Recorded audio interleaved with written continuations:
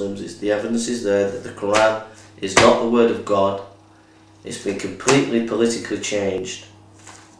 You need to rethink your position and come over to Christianity and know that Christ died for you. God bless you. I do this out of love.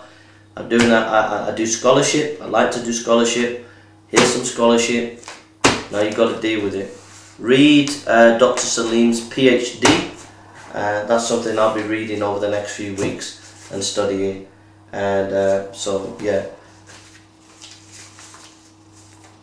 And uh, some more information here.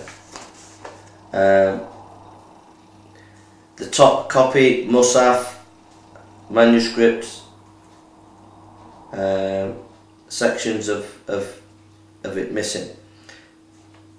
The Sama, the Sama and the Tashkent copies, there are verses missing. Hussein Cairo manuscript, there are verses missing. The Paris Petropolitanus, there are verses missing. The ML manuscript,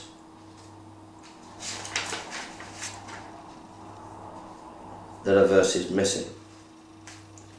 And the Sanya manuscript, Sana manuscript, there are verses missing.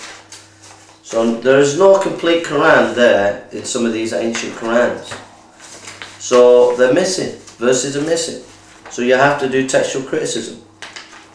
You have to do textual criticism. And as Muslims, there's never been a modern textual criticism of the Quran ever done. Because you're hiding. Because if you do do textual criticism, it will prove that this book is not the Word of God. God bless you.